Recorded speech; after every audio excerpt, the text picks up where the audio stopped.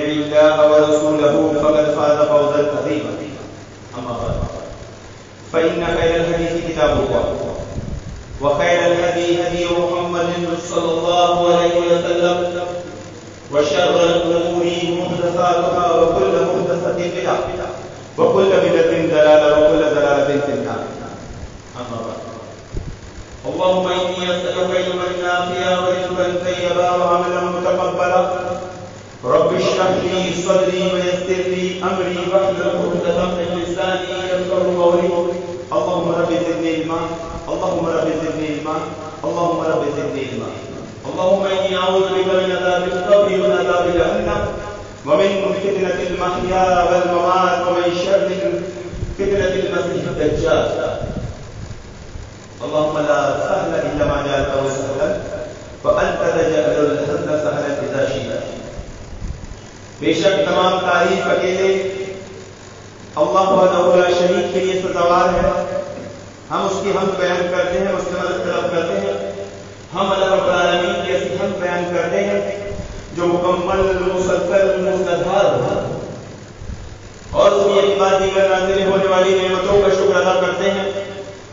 ऐसा शुक्र जिसमें मुसलसल इजाफा होता रहे।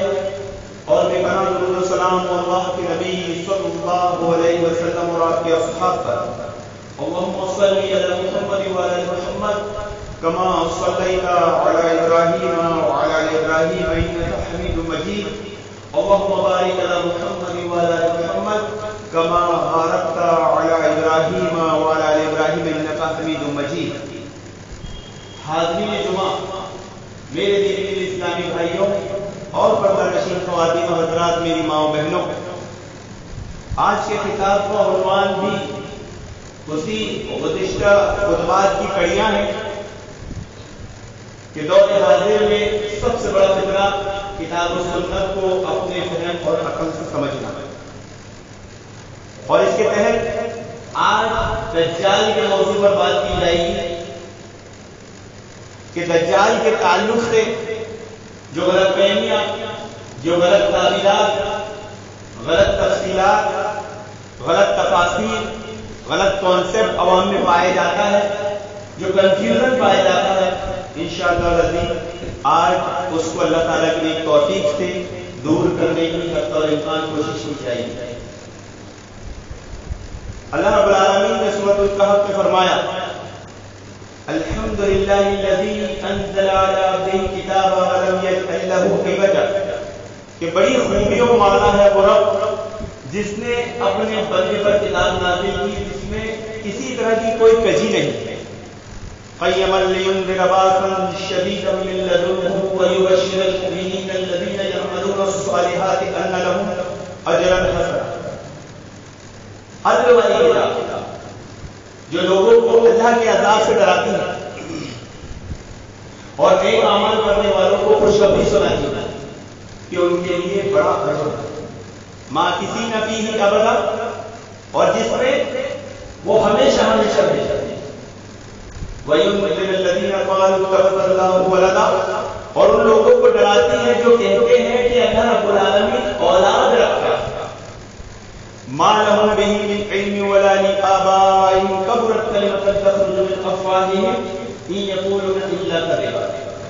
न ये लोग ईमान न ये लोग इल्म रखते हैं और न इनके बाप दादा इल्म रखते रहते बल्कि बहुत बड़ा बोल है जो ये अपनी जबानों से कहते हैं और ये झूठ है कि अल्लाह रब्बुल आलमीन औलाद रखता है।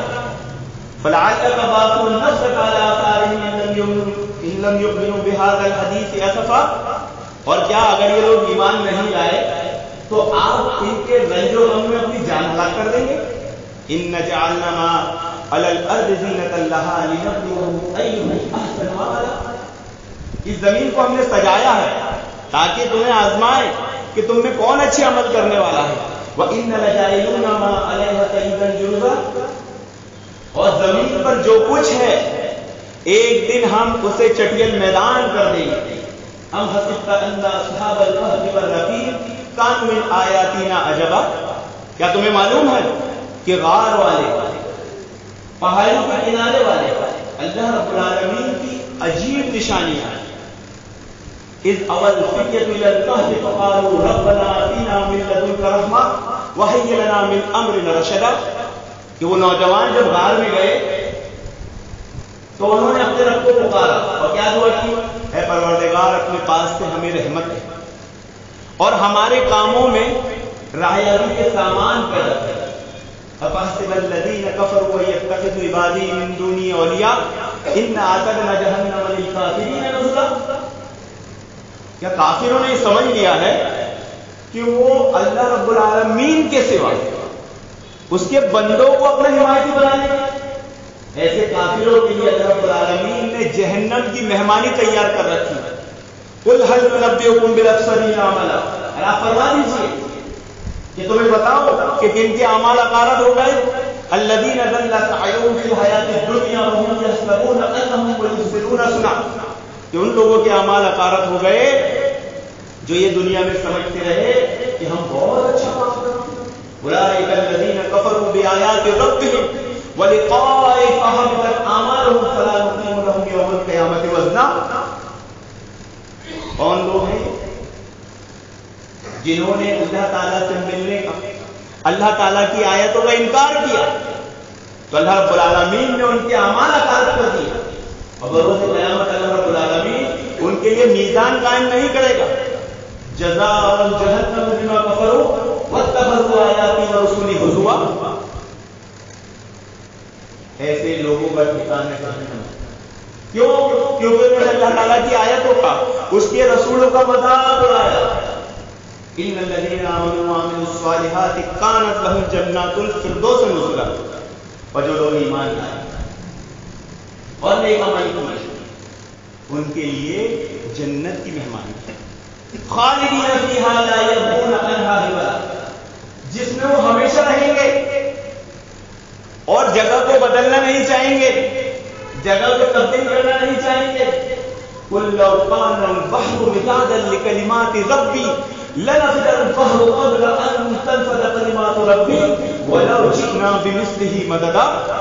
और तुम अगर अल्लाह आलमीन की बातों को लिखने के लिए समंदर को स्याही बना लो तो समंदर खत्म हो जाएगा, लेकिन तुम्हारे रब की बातें खत्म नहीं होगी, मजीद तुम और समंदर ले आओगे। कुल इन्नमा अना बशरुन मिस्लुकुम यूहा इलैया अन्नमा इलाहुकुम इलाहुन वाहिद, फमन कान यरजू लिका रब्बिहि फमन कान यरजू लिका रब्बिहि फमन कान यरजू लिका रब्बिहि व यअमल अमलन सालिहा। वला युशरिक बि इबादति ही अहदा और आप कह दीजिए कि मैं जाहिरी शक्ल सूरत में तो तुम जैसा इंसान हूँ, लेकिन मुझ पर वही आती कि तुम्हारा परवरदिगार एक अल्लाह रब्बुल आलमीन है। एक अल्लाह रब्बुल आलमीन है और जो उससे मिलने की उम्मीद रखता है, वो क्या करे? वो नेक काम करे और उसके साथ किसी को शरीक ना मोहतरम आजिम सूरत कहफ की शुरू की दस आयतें और आखिर की दस आयतें माँ आपके सामने इसलिए पेश की गई कि दज्जाल के फितनों से बचने के लिए, दौर हाजिर के या हर दौर के मुसलमान के लिए ये आयत करीमा बहुत अहम है। जो इन आयत करीमा की तिलावत कर लेता है, वो ये जुमा से लेके वो जुमा तक दज्जाल के फितनों से महफूज हो जाता है। इस आयत करीमा की बड़ी फजीलत है। बड़ी नसीहत आमोज बातें हैं। कि ने मक्का ने अपने दो या तीन लोगों को यहूदी उलमाओं के पास भेजा और कहा कि जाओ, जरा यहूदी उलमाओं से जो अहले किताब शुमार किए जाते हैं, उनके पास किताब है। जाओ, उनसे जरा पूछ के आओ कि मोहम्मद रसूलुल्लाह सल्लल्लाहु अलैहि वसल्लम ने जो मोहम्मद रसूलुल्लाह, अल्लाह का रसूल होने का दावा किया है, क्या ये दावा सही है? और सही है? तो कितना सही है? आओ जरा इसकी तहकीक करके आओ। तो मशरकी ने मक्का है मक्का के कुछ लोग वहाँ से यहूदी उलमाओं के पास गए और उनसे कहा कि इसकी तस्दीक कैसे की जाए? कि मोहम्मद रसूलुल्लाह जो कह रहे हैं वो सच है। तो यहूदी उलमाओं ने उनको तीन सवाल सिखाए। क्या सिखाए? कि तीन सवाल मोहम्मद रसूलुल्लाह से पूछो। अगर वो इसका जवाब दे दे तो समझ लेना अपने दावे नबूत में सच्चे हैं। और तीन सवाल क्या थे पहला सवाल था, रूह का। रूह क्या चीज़ और दूसरा सवाल था कि उस शख्स का नाम क्या है?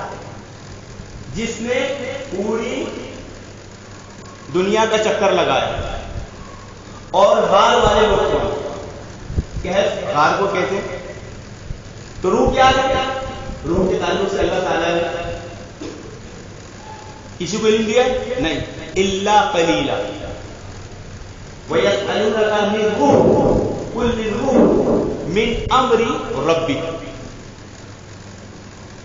क्या कहा अल्लाह ने कि रूह के बारे में आपसे पूछते हैं कहो ये मेरे रब का हुक्म और आपको जो इल्म दिया गया है वो बहुत कलील है। मोहतरम हाजिर जरा गौर कीजिए कि किताब और सुन्नत का जो इल्म है, जो मोहम्मद रसूलुल्लाह को दिया गया है, वो कितना कलील है। अल्लाह ताला ने कहा कुल्लौकान अलबहर मिदाद कलिमात रब्बी। कि अगर तुम अल्लाह ताला की बातें लिखने के लिए समंदर को स्याही बना लो तो वो खत्म हो जाए। लेकिन अल्लाह ताला की बातें खत्म नहीं होगी। तो हमारे लिए किताब सुन्नत का इल्म कितना ज़्यादा कितना बड़ा दिखता है? अल्लाह ताला की नज़र में वो क्या है? बहुत कलीम तो पहला सवाल था, रूह क्या है? तो क्या रूह के ताल्लुक से हमें ज़्यादा बताया नहीं गया है? जैसे हमें इतना मालूम है कि दो मर्द औरत मिलते हैं तो औलाद पैदा होती है, एक जान पैदा होती है। लेकिन रूह कैसे पैदा होती है, ये नहीं बताया अल्लाह बस इतना बता दिया उसमें रूह डाली जाती और दूसरा सवाल, वो कौन सी शख्सियत है जो पूरी दुनिया का चक्कर लगाई?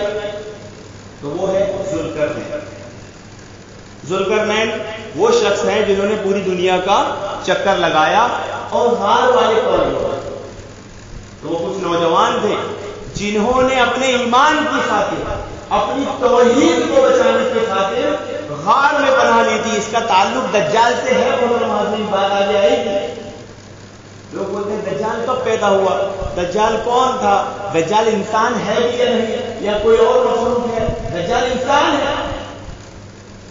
दज्जाल इतने आदम की औलाद में से है। बाद मोहदिसिन ने कहा है कि दज्जाल नू असलाम की कौम में से उम्मत में से है। लेकिन इस ताल्लुक से जो बातें कही जाती है, वो बिल्कुल पाए तकलीफ़ तक नहीं पहुँचती। जो अहादीस में बताया गया है, उसके मोहदिसिन इस्तेलाल करते थे तो इससे पता चलता है कि दज्जाल इब्ने आदम की औलाद में से, यानी इंसान। है क्योंकि लोग बोलते हैं ना, दज्जाल जो तलीमदारी ने कब देखा था? आज से चौदह सौ साल पहले। और आज कितना अर्सा गुजर गया? चौदह सौ साल। तब से दज्जाल ज़िंदा है। और अहादीस में क्या आता है? कि नूर सलाम से लेकर मोहम्मद सल्लल्लाहु अलैहि वसल्लम तक कोई नबी ऐसा नहीं गुजरा जिसने अपनी उम्मत को दज्जाल से नहीं डराया। है ना उसकी उम्र कितनी है? तो वो है इंसान ही, लेकिन आम इंसानों से हट के उसकी तकलीफ़ है। ये अल्लाह के लिए मुश्किल नहीं है। अगर हम उसे आदम अलैहिस्सलाम के जमाने से मान ले कि आदम अलैहिस्सलाम की औलाद में से है वो और आज तक ज़िंदा है तो कुछ अजीब बात नहीं है। सूरज कहा में अल्लाह रब्बुल आलमीन ने नौजवानों का जो वाक्य बयान किया कि जब वो उन्हें अपने तौहीद की ज़िक्र हुई अपने ईमान को बचाने की ज़िक्र हुई अल्लाह रब्बुल आलमीन ने उनको ऐसी मीठी नींद सुलाया तो तीन सौ साल हो गए। जब अल्लाह रब्बुल आलमीन किसी को 300 साल सुला सकता है तो दज्जाल को कयामत तक ज़िंदा क्यों नहीं रह सकता? उसके लिए कौन सी बड़ी बात है? मतलब हाजिर एक सबक है। मुसलमानों के लिए इसमें एक मैसेज है कि देखिए वो नौजवानों ने जब तौहीद की फ़िक्र की, अपने ईमान को बचाने की फ़िक्र की तो क्या किया? फितनों से बचने के लिए गार में चले तोहीद और ईमान के लिए कुर्बानियाँ क्या देते थे? और आज हम, आज का मुसलमान जो हालात अभी इलेक्शन के चल रहे हैं, ईमान को बेचने के लिए लोग मौके मौके दर दर घूम रहे हैं ढूंढ रहे हैं कोई माल जाए हम ईमान बेच दे हम अपनी सौदा कर ले। तो ये एक मैसेज है मोहतरम हजरीन और इस सूर्य के हक में एक चीज़ और बयान की गई है मूसलाम का वाक्य और हज़रत खजराम का वाक्य। इसमें भी एक पैगाम है। देखिए मूसलाम जलील नबी है। और हम आज के मुसलमान हमारा ईमान, हमारा सफ़र क्या हो सकता है, उसका लेवल क्या हो सकता है, अंदाज़ा लगाइए। कि जब मूसलाम ने खजूर से कहा कि सफ़र पर मैं भी आपके साथ चलूँगा तो हज़रत ने कहा, नहीं, आप सफ़र नहीं कर पाएँगे। बोले, नहीं, मैं करूँगा। बोले, ठीक है, मेरे साथ चलना कुछ सवाल मत पूछिए। सफ़र स्टार्ट किया सवारी कश्ती में सवार हो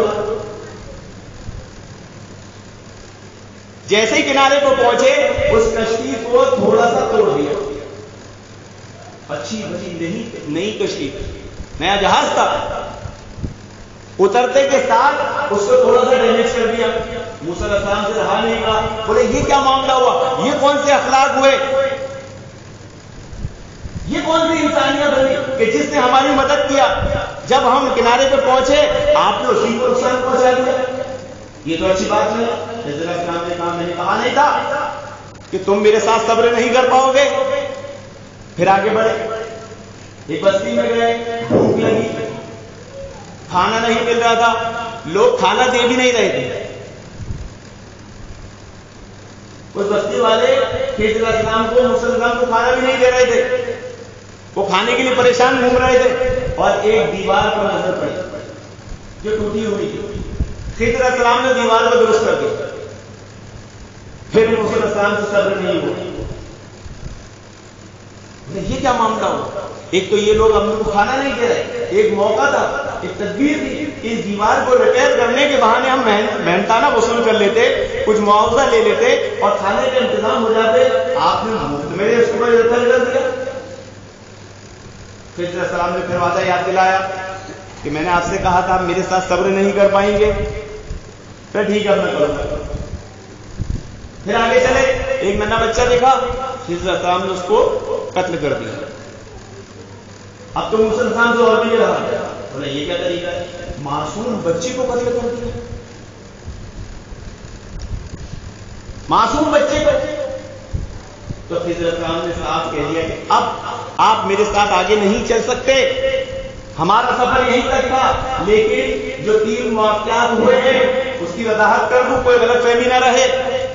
मैंने कश्ती को इसलिए डैमेज किया कि जिस इलाके में कश्ती गई थी, वहाँ का बादशाह किसी भी नई कश्ती को जो अच्छी होती थी, देख लिया करता था। तो क्या करता था? उसे अपने कब्जे में ले लिया करता था। नाजायज कब्जा कर लिया करता, छीन लिया करता था। अब ये मल्ला जिसने हमारी मदद किया था, अगर इसकी नई कश्ती को उसकी नज़र पड़ती तो वो इससे भी छीन लेता। इसलिए मैंने उसको थोड़ा सा तोड़ दिया, ताकि इसकी रोजी का इंतज़ाम बाकी रहे। और वो दीवार वो दो मासूम बच्चों की दीवार थी उसके नीचे उनके बाप ने खजाना छिपा रखा था कि बड़े होंगे, खजाना निकालेंगे, लेकिन वो गिर रही थी। अगर मैं उसे रिपेयर नहीं करता तो क्या होता?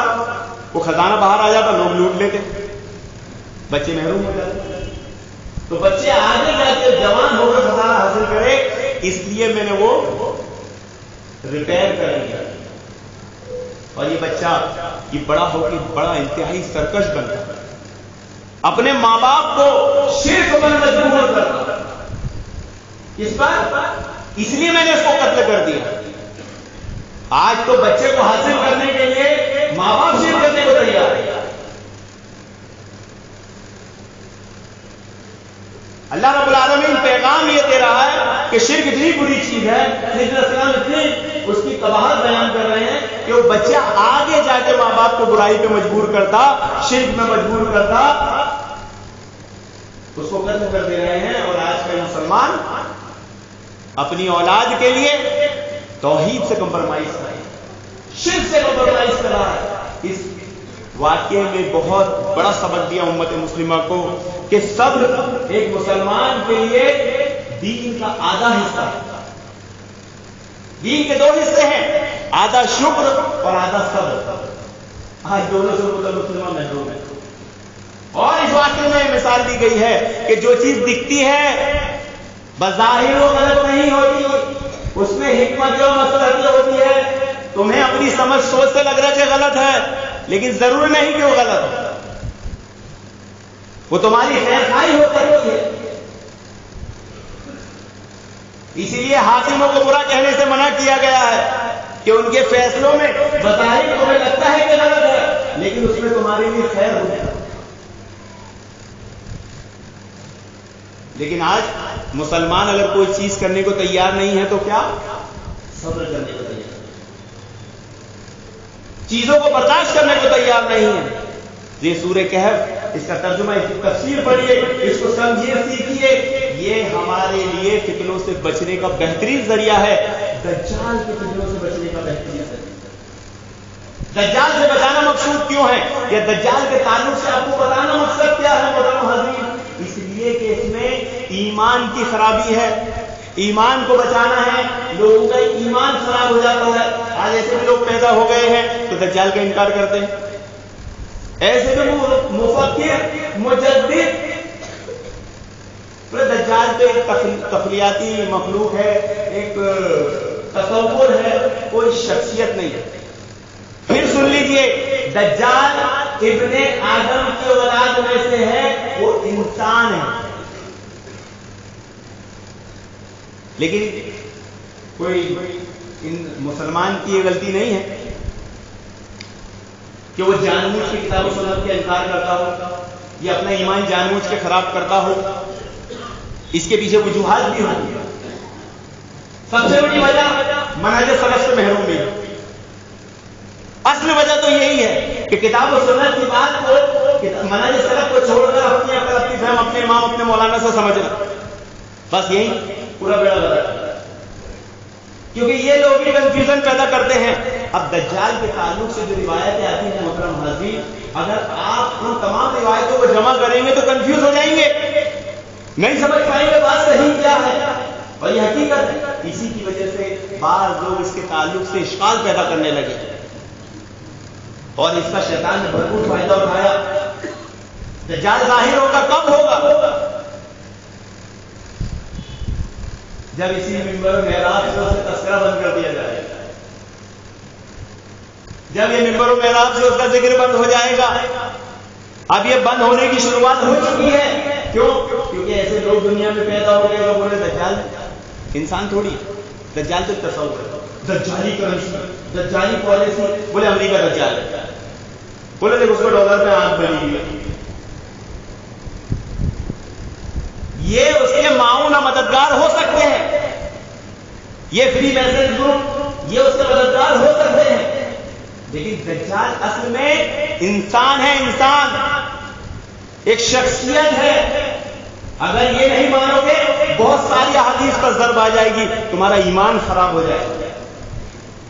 हज़रत बयान फरमाते हैं कि अल्लाह के नबी सल्लल्लाहु अलैहि वसल्लम ने फरमाया, अब देखिए, अहादीस में कैसी कैसी बातें हैं, जब आदमी पढ़ता है कंफ्यूज होता है।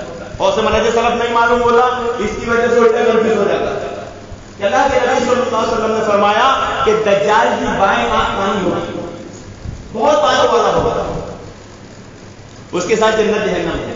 एक रिवायत है एक रिवायत में अल्लाह के नबी सल्लल्लाहु अलैहि वसल्लम ने फरमाया कि दज्जाल के साथ आग और पानी होगी।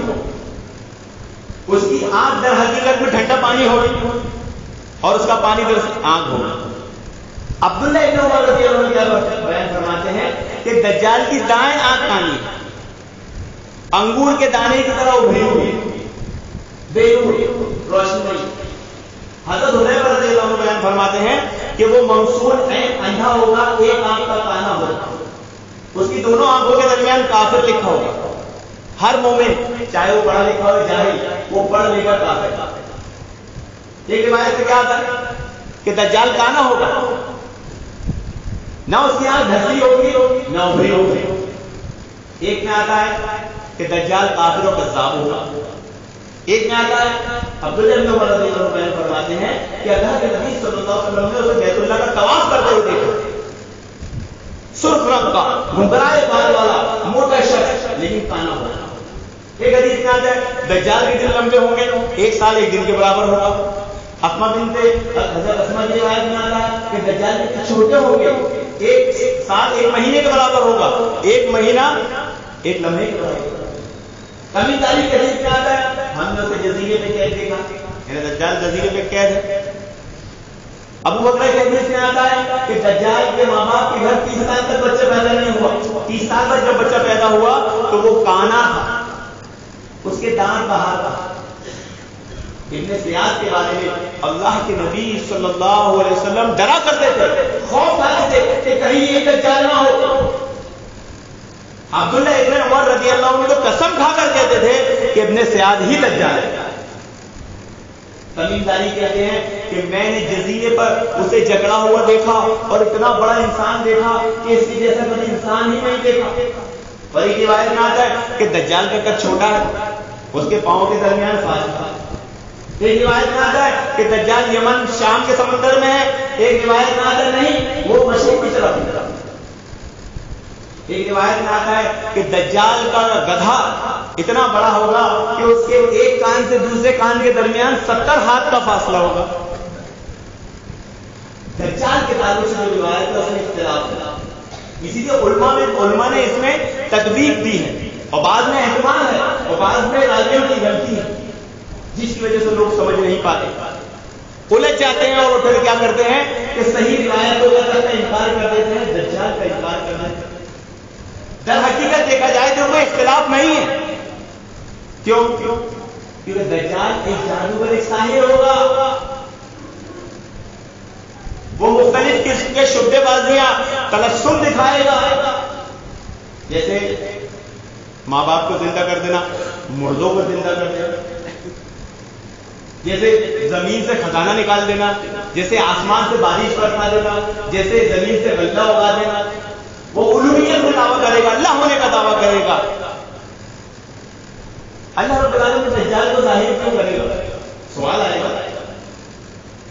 लोगों की आजमाइश के लिए, उनके इम्तिहान के लिए तो जब उस जमाने में रब्बुल आलमीन दज्जाल को ज़ाहिर करेगा और उनकी आजमाइश देगा तो क्या इस जमाने में नहीं लेगा? तो इस जमाने में कैसे लेगा? इस जमाने में रिवायत है उनकी आजमाइश। इस पर ईमान लाया जाए। देखते हैं कौन इस पर ईमान लाता है, कौन नबी की बात पर ईमान लाता है, कौन नबी की बात को झुटलाता है। अच्छा नबी की बात को झुटलाने का ये कौन सा तरीका है कि तेरी समझ में आया तो झुटला दे तेरी अकल पर रब्बुल आलमीन ने कब उच्चत बनाया? तेरी अकल को कब रब्बुल आलमीन ने मोतबर बनाया? तो जो कंफ्यूजन है, वो रिवायतों के बयान करने पर, रिवायतों के सामने आने की वजह से एक कम एक कम सहम आदमी धोखा खा जाता है। दज्जाल रब नहीं होगा। और उसके रब ना होने की अलामतें बता दी गई है। और वो अलामतें ऐसी हैं कि दज्जाल उसके सामने मजबूर होगा आँख का काना होना, आँख का उभरा होना, या आँख का धसा हुआ होना, दोनों आँखों के दरमियान काफिर लिखा होना, ये ऐसी अलामतें हैं कि वो रब होने का दावा भी करेगा, लेकिन इसको दूर नहीं कर पाएगा। इस ऐप को इस कमी को वो दूर नहीं कर पाएगा। ईमान वालों के लिए अलामत होगी इस जमाने में, जो दज्जाल को पहचान लेंगे कि दज्जाल। दज्जाल जादूगर साहिर होगा तो क्या करेगा? वो कभी दाएँ हाथ को काना दिखाएगा तो कभी बाएँ हाथ को काना दिखाएगा। कभी अपना कद लंबा दिखाएगा तो कभी छोटा दिखाएगा। कभी अपने को मोटा दिखाएगा तो कभी पतला दिखाएगा। तो जो रिवायतों में बात बयान की गई है, वो ये है इसके एहतमाल है ये। ये दज्जाल की गारंटी ये दज्जाली पॉलिसी है, दज्जाल नहीं है। ये उसके माहौल मददगार है, उसके आने वाले और उसके आने की तैयारी करने वाले लोगों की एक टीम है, हो सकता है। लोग समझते हैं, कोई दज्जाल से मिल नहीं सकता। कोई दज्जाल से बात नहीं कर सकता। पता नहीं दज्जाल का अरे दज्जाल में लोग मिलते हैं। दज्जाल से मिलना मुमकिन है। दज्जाल से बात करना पॉसिबल है। दज्जाल लोगों से मिलता भी है। उनको अपने मैसेजेस भी देता है। तो कोई ये बोले कि वो शख्स दज्जाल से मिला, उसके मैसेज आया तो झूठ नहीं, मुमकिन है। कि तमीमदारी मिलकर आए, तीस लोगों के साथ मिलकर आए, उससे बात करके आए और उसने भी पूछा इंटरव्यू लिए उस पर सवाल जवाब सेशन हुआ। तो आज क्यों नहीं हो सकता? सवाल यह है कि जब अगर आज कोई बंदा जाता है और दज्जाल से मिल लेता है, उससे बात कर लेता है तो फिर आगे बताता क्यों नहीं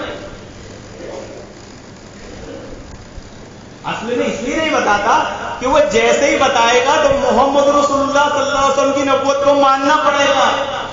इस्लाम को हक मानना पड़ेगा। वो दज्जाल जो उससे सवाल पूछता है, वो चार सवाल पूछता है। पहला बेसान का नखलस्तान एक बाग है, वो फल देता है। दूसरा पूछता है कि जुगरत का कुआ है? जुगर का कुआ, क्या वो खुश हो गया? और तीसरा, एक चश्मा है क्या उसमें पानी जारी है? और चौथा उम्मियों के नबी मोहम्मद रसूलुल्लाह आ चुके हैं। कोई चार सवाल किसी से भी पूछता है। और इन चार में से तीन निशानियाँ अभी तक पूरी हो चुकी है, सिर्फ़ एक बाकी है। बहरे तबरिया का पानी अभी जारी है। बहसान का खसलिस्तान का फल वो पूरा बाग खत्म हो गया, सब दो दरख्त बाकी है उसमें, खजूर के वो भी फल नहीं थे और दोपहर का कुआँ भी सूख गया। बस बहरे तबरिया का पानी, जो तुर्की और दिन के दरमियान है डिस्कवरी वगैरह देखेंगे। अभी मैंने चंद महीने पहले देखा था कि उसका पानी सूखने लगा है। साइंटिस्ट परेशान है कि इसका पानी सूख क्यों रहा वजह समझ में नहीं आ रही? तो वो चार वो सवालों में से तीन सवाल तो पूरे हो चुके उंगलियों के नबी मोहम्मद रसूलुल्लाह आ चुके तो अगर वो जाता भी है, दज्जाल से बात भी करता है, दज्जाल उससे कुछ सवाल भी पूछता है कुछ मैसेज भी देता है। मिसाल के तौर पर, यहूद और नसारा को लोग जो डिस्कवरी चैनल चलाते हैं और जगह जगह सैारों और इधर फिजा में घूमते फिरते हैं सर्च करते हैं, वो दज्जाल तक पहुँच भी जाते हैं और पहुँच भी चुके होंगे। तो आके बताएँगे भी नहीं, क्योंकि इससे इस्लाम की हक्कानियत साबित होगी, इससे मोहम्मद रसुल्ला की नबूत साबित होगी। तो के ताल्लुक से मिसकॉन्सेप्ट इसीलिए है कि उन रिवायतों को हम असला से नहीं समझते। दज्जाल के फितनों में से एक फितना सबसे बड़ा क्या होगा मालूम है? लोग एक सवाल आ सकता है आपके जहन में, कि जब इतनी निशानियाँ हदीस में बयान कर दी गई है और लोगों को बता दी गई है, फिर लोग उस पर ईमान कैसे लाएँगे? लोग उसको रब कैसे मान लेंगे? लोग उसको नबी कैसे मान लेंगे? बहुत सारी गलत फहमी है, बहुत सारे मिसकॉन्सेप्ट है। अभी बात पूरी नहीं होगी खत्म होने का टाइम आ गया। ये आखिरी बात बोल के अपनी बात खत्म करूँगा कि दज्जाल पर लोग ईमान क्यों लाएँगे? और उसे सिर्फ़ नबी नहीं मानेंगे, रब भी मान लेंगे। लेकिन दज्जाल पहले इख्तलाफ इसमें है। बाद लोग कहते हैं कि नहीं, वो नबूत का दावा नहीं करेगा, सिर्फ़ अल्लाह अल्लाह होने का दावा करेगा। बाद लोग कहते हैं कि पहले नबी होने का दावा करेगा, फिर अल्लाह होने का दावा करेगा। बाद लोग कहते हैं पहले विलायत का दावा करेगा, फिर नबी होने का दावा करेगा, फिर अल्लाह होने का दावा करेगा। तो बात जो दुरुस्त लगती है, वो क्या है? पहले विलायत का दावा करेगा, फिर नबूत का दावा करेगा फिर अल्लाह होने का दावा करेगा फिर अल्लाह के नबी की हदीस है मेरी उम्मत में तीस कज्जाब तीस दज्जाल ऐसे पैदा हो गए उनमें सबसे बड़ा कौन है? ये दज्जाल उन तीस में ये दज्जाल की क्या क्वालिटी है? वो तीस ने नबूत का दावा किया, बस ये वो रहेगा जो नबूत के दावे के साथ साथ अल्लाह होने का दावा करेगा रब होने का दावा। अब इतनी वाज निशानियाँ, इतनी तफसीलात के साथ आने के बावजूद लोग दज्जाल पर ईमान कैसे ले आएँगे? लोग दज्जाल को रब कैसे मान लेंगे? मोहतरम हाजरी ये कहानत बहुत ताकतवर चीज़ है। कहानत बहुत ताकतवर चीज़ है और आज माशरे में आम है। अच्छा दज्जाल पर सबसे पहले ईमान लाने वाले या सबसे ज़्यादा ईमान लाने वाले कौन लोग होंगे? औरतें। औरतें। अब आज के काहिन को देख लीजिए। आज जो बंगाली बाबा, ये बाबा, वो बाबा, ढोंगी बाबा, कितने बाबा है? इनके पास सबसे ज़्यादा रहने वाली कौन है? औरतें होती बकरा चोरी हो गया, बाइक चोरी हो गई। मालूम करते हैं ना? ये काइन जादूगरों को क्या कहा जाता है? और पहुँचे हुए बुज़ुर्ग हैं? वली अल्लाह। एक जादूगर, एक कज्जाब एक झूठे को जब अल्लाह को वली बना दिया जा रहा है तो वो दज्जाल, जिसमें ऐसी ऐसी के आदत कुतें होगी, जिसका इंसान गुमान भी नहीं कर सकता। इसलिए अल्लाह के नबी सल्लल्लाहु अलैहि वसल्लम ने फरमाया कि जब तुम्हें खबर मिल जाए कि दज्जाल ज़ाहिर हो गया तो उसके करीब मत जाना। क्योंकि सही अकीदा आदमी अगर उसके पास जाएगा और उसमें जो खूबियाँ कुत ताकत है, वो देखेगा, शाम तक उसका ईमान खराब हो जाएगा। ईमान नहीं चालेगा। अगर कोई बाबा ढूंढी, बाबा, बकरा बता देता है तुम्हारा बकरा वहाँ घूम रहा। तुम्हारी बाइक उसने चुराया और बहुत बड़े पहुँचे वो बुज़ुर्ग अल्लाह के बनी है। तो दज्जाल कहेगा, क्यों गमगीन है? माँ बाप की याद आ रही। अच्छा तेरे माँ बाप को अगर मैं ज़िंदा कर दूँ तो ईमान लाएगा, मैं हाँ लाऊँगा। दज्जाल शैतान को हुक्म देगा? जा। इसके माँ बाप का गेटअप रूप भर जाओ कब्र में से निकलता हुआ दिखेगा उसकी माँ बाप वो ईमान ले आएगा। दज्जाल में ऐसी ऐसी ताकत है। साहबा ने अर्ज़ अल्लाह के नबी सल्लल्लाहु अलैहि वसल्लम दज्जाल के साथ अनाज का पहाड़ होगा। पानी का पहाड़ होगा। इतनी सलाहियत इतनी अल्लाह के नबी ने फरमाया कि अल्लाह रब्बुल आलमीन ने जब दज्जाल को पैदा कर दिया तो उसके साथ अनाज का पहाड़ और पानी पैदा करना अल्लाह ताला के लिए कौन सा मुश्किल है? कौन सी बड़ी बात है उसके लिए बहुत छोटी बात है। दज्जाल कब से है? किसी को नहीं मालूम। आदम असलाम के औलाद में से है। कब तो आदम असलाम है, किसी को नहीं मालूम। आज तक ज़िंदा है। आज तक झगड़ा हुआ है इसमें तो एक कहानत बड़ी खतरनाक चीज़ है, मोहतरम हाजरी, कि जब एक आम फहम मुसलमान काहिनों के पास जाकर उसे अल्लाह का वली मान लेता है तो दज्जाल ऐसी ऐसी चीज़ें बताएगा, सर, ज़मीन में से खजाना निकाल देगा, आसमान को हुक्म देगा, बारिश बरसा बरसा देगा, ज़मीन को हुक्म देगा, गल्ला निकाल गल्ला निकाल देगी। ऐसे बाबा, ऐसे बागीचे खूबसूरत होंगे, देखने में जन्नत लगेंगे। बोले, जन्नत में जाना है? बोले हाँ दाखिल यानी दज्जाल जो धोखा देगा, वो मीशत का धोखा है। मार्केट का।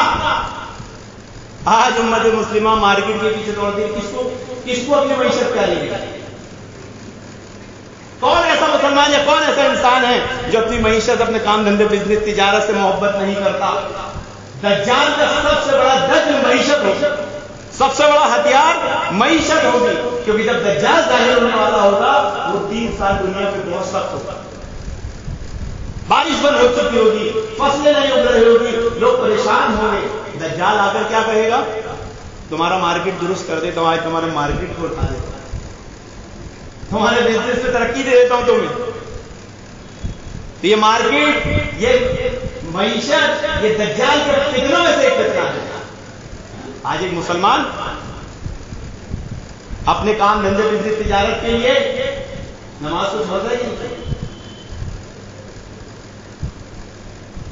तो जब दज्जाल आएगा और इस किस्म की परेशानियाँ होगी ये कहानत है, कहानत की ताकत देखिए, मोहतरम हाजरीन, कि मोहम्मद रसूलुल्लाह सल्लल्लाहु अलैहि वसल्लम जैसा नबी, अंबिया में सबसे अफजल ये आम मुसलमान की बात नहीं चल रही। काहिन की ताकत देखिए काहिन जो कितने ताकतवर होते हैं कि मोहम्मद रसूलुल्लाह इब्ने सियास से पूछ रहे हैं, बता मेरे दिल में क्या चल रहा है? मैं क्या सोच रहा हूँ? वो मोहम्मद रसूलुल्लाह को कहता है, आप धुआँ धुआँ सोच अल्लाह के नबी सल्लल्लाहु अलैहि वसल्लम ने फरमाया, मैं उस वक्त सूरज दुखान ही सोच रहा हूँ। मोहम्मद के दिल में कोई बात चल रही है, उसका ही ने पहचान लिया तो आपके और मेरे दिल में कुछ चल रहा हो तो आज के काहिन लोग पहचान ले तो कौन सी बड़ी बात है? मामूली बात है, ये काहिन लोग क्या होते मालूम है तुम्हें? ये काफिर होते हैं, काफिर। इन्हें अपना अंजाम मालूम होता है। ये अपने मुँह से कह रहे हम जहन्नमी हैं। जो काम हमने इख्तियार किया है, ये हमारे लिए जहन्नम लिख दी गई है। अब क्या अब ऑप्शन है? तो ए जिन, ए शैतान, जा मेरे लिए जरा खबरें तो ला दे। अब जो थोड़ी बहुत ज़िंदगी दुनिया बची है, उसमें तो मैं ऐश कर लूँ। तो कोई कारी की आदत काम करता हुआ शख्स दिखे, वो कभी बुज़ुर्ग नहीं हो सकता, वो कभी अल्लाह का वली नहीं हो सकता। चाहे वो पानी पे चले, चाहे वो हमें वो हमें उड़े। इतने तैमिया रहमल्ला फरमाते हैं, अगर मैं किसी पानी किसी पानी पर चलता हुआ देखूँ, या किसी हवा में उड़ता हुआ देखूँ, उसे कत्ल कर जादूगर है। अफसोस के साथ ये उम्मत मुस्लिमा की पसमानदगी का हाल है। ये गिरावट है, मोहतरम हाजरीन। हमसे बेहतर यहूद नसारा है कि उनके यहाँ जादूगरों को मजिशियन कहा जाता है। क्या कहा जाता है? मजिशियन हाथ की सफ़ाई। धोखा है धोखा है, लेकिन उनका एक हुनर, एक टैलेंट है, जिसे वो हाथ की सफ़ाई कहते हैं। वो उन्हें जादूगर कहते हैं। और ये उम्मत मुस्लिम का हाल है कि यहाँ ऐसे जादू दिखाने वाले को पहुँचा हुआ बुज़ुर्ग वलील्ला कहते हैं। तो जब ये इन्हें वलील्ला पहुँचा बुज़ुर्ग कहते हैं तो जज्जाल को अपना रब क्यों नहीं मान लेंगे? बिल्कुल मानेंगे। आज उम्मत मुस्लिमा की पसमानदगी गिरावट की जो वजह है, वो यही है मोहतरम हाजरी कि कहानत के पीछे पड़े। कहानत बहुत ताकतवर चीज़ है। और दज्जाल के पास तो इसका कमाल ही तो दज्जाल के ताल्लुक से बहुत सी बातें जो रह गई है, इंशाल्लाह अगले खुद में बयान की जाएगी। अल्लाह रब्बुल आलमीन से दुआ है कि अल्लाह रब्बुल हमें दज्जाल के फितने से बचाए, हर तरह के शर और फितने से बचाए और किताब सुन्नत को अपने मनहज सलफ के मुताबिक सीखने, समझने की तौफीक अता फरमाए। आमीन या रब्बुल आलमीन।